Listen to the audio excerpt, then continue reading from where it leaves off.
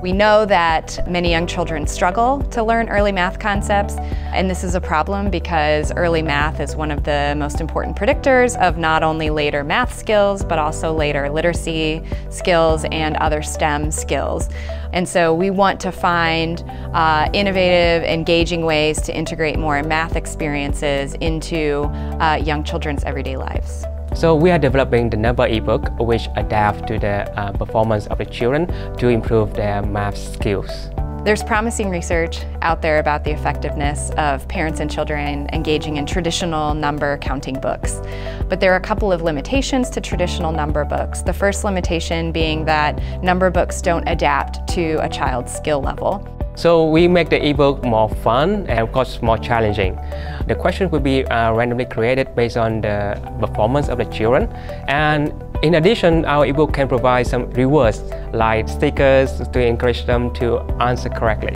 We are hypothesizing that an adaptive book that engages young children in numbers and comparison as well as thinking about size and quantity uh, will help them develop number skills and increase parents' math talk in a way that may be uh, more engaging and more helpful for children to develop early math skills. I'm very fortunate to have uh, many talented students working with me. So the students they have a very good, very good skill set in algorithms and in mobile app application development as well. Um, so they um, they develop the app in the mobile uh, devices and they try to deploy different algorithms to create the complexity levels for the ebook. So right now what we're working on is developing a prototype of the adaptive number ebook and then giving parents surveys and asking them questions about their experiences with the book.